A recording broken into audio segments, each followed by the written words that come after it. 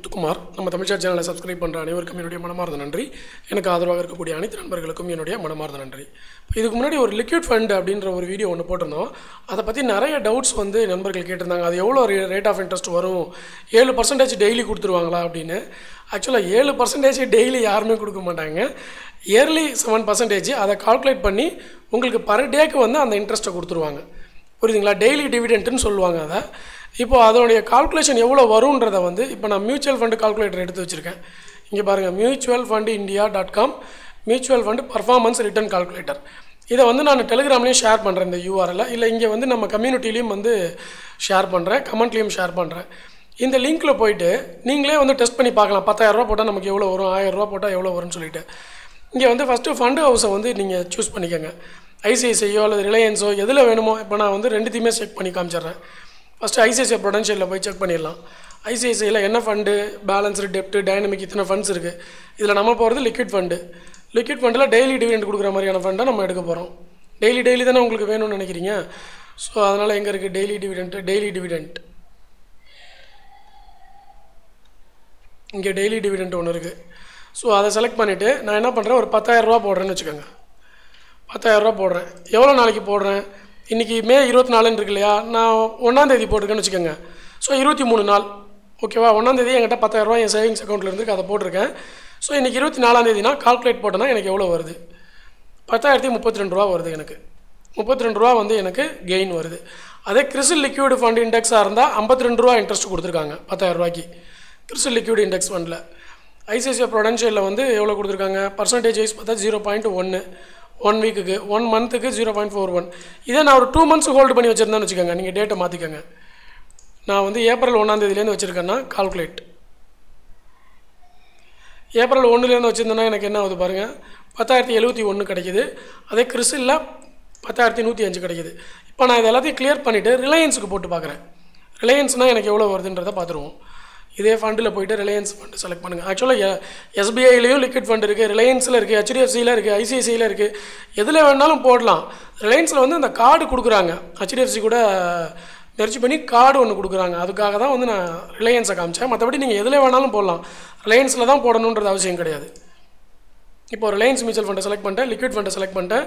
அதில் வந்து daily dividend கொடுக்குற ஃபண்டு ஒன்று செலக்ட் பண்ணுறேன் டெய்லி டிவிடெண்ட் கொடுக்குற ஃபண்டு அதை செலக்ட் பண்ணிட்டு நான் வந்து ஒரு பத்தாயிரரூபா போடுறேன். இல்லை ஒரு லட்ச ரூபா போடுறேன்.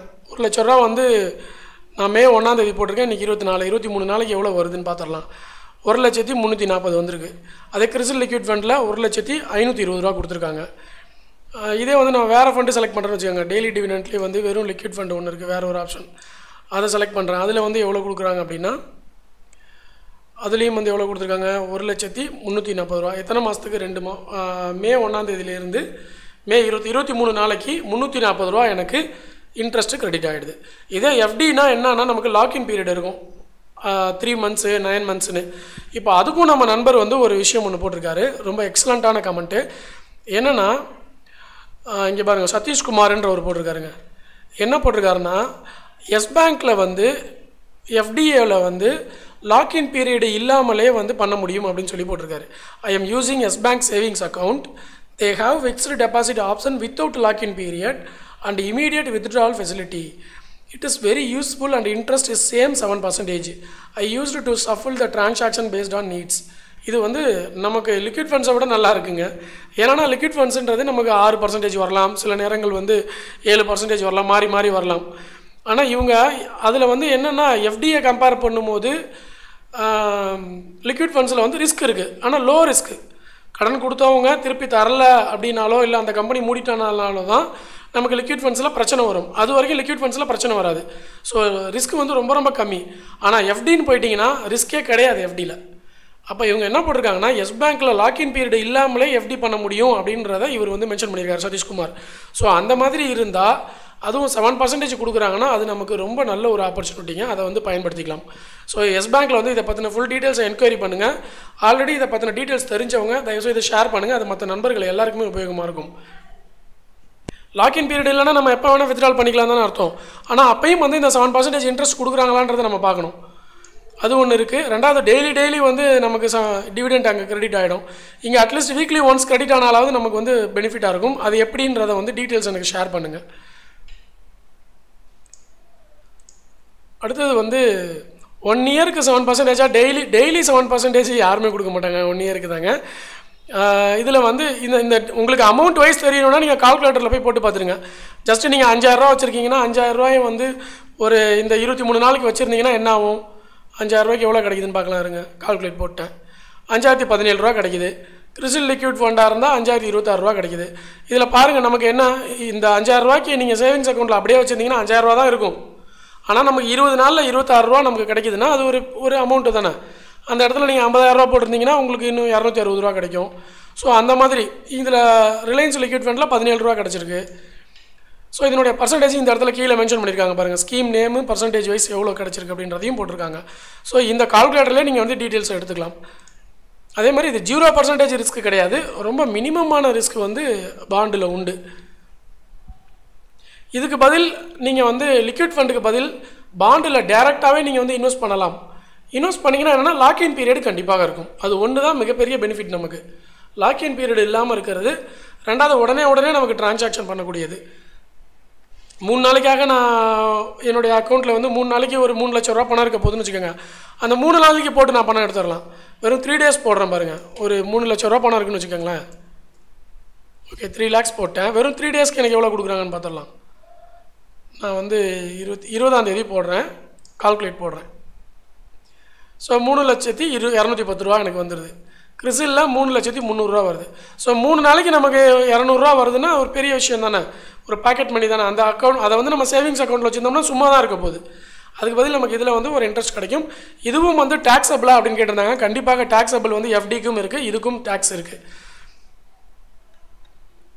ஸோ இது பற்றின வேறு சந்தேகங்கள். அதே மாதிரி ஆல்ரெடி லிக்விட் ஃபண்ட்ஸில் இன்வெஸ்ட் பண்ணியிருக்கவங்க உங்களுடைய எக்ஸ்பீரியன்ஸை வந்து இந்த வீடியோக்கு கீழே கமெண்ட்டாக ஷேர் பண்ணுங்கள் அது நிறைய பேருக்கு உபயோகப்படும்.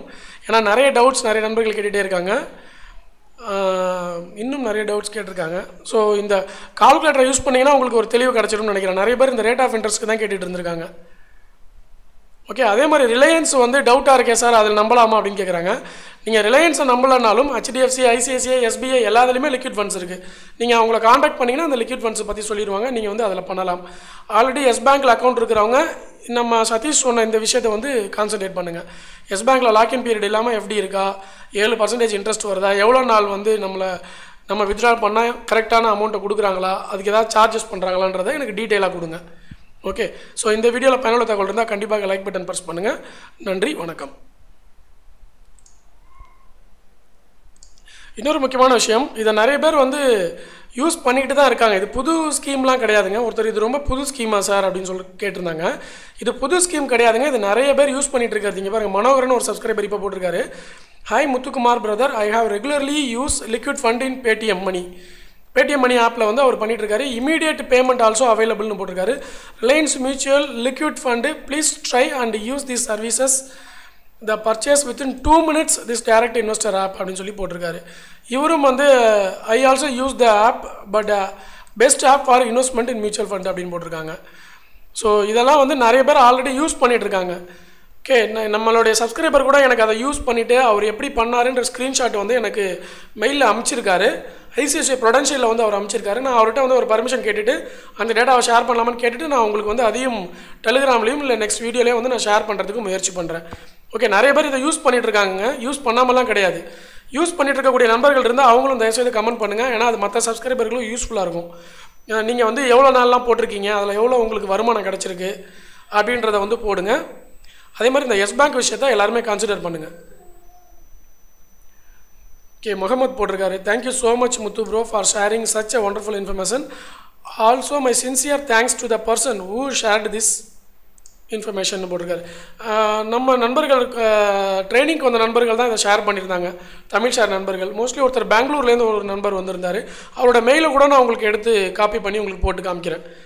அவர் எனக்கு மெயிலே அமைச்சிருந்தார் டீட்டெயில்டு மெயிலே அமைச்சிருந்தார் அதை பற்றி Reliance means Reliance capital Reliance mutual ஃபண்டுங்க Reliance mutual fund website போனீங்கன்னா அதில் வந்து உங்களுக்கு இதை பற்றின டீட்டெயில்ஸ் இருக்கும்.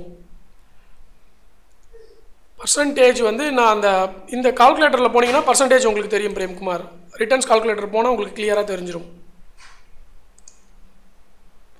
ஓகே இந்த வீடியோவில் பயனுள்ள தகவல் இருந்தால் கண்டிப்பாக லைக் பட்டன் ப்ரெஸ் பண்ணுங்கள் நம்ம சேனலை சப்ஸ்கிரைப் பண்ணுங்கள் நன்றி வணக்கம்.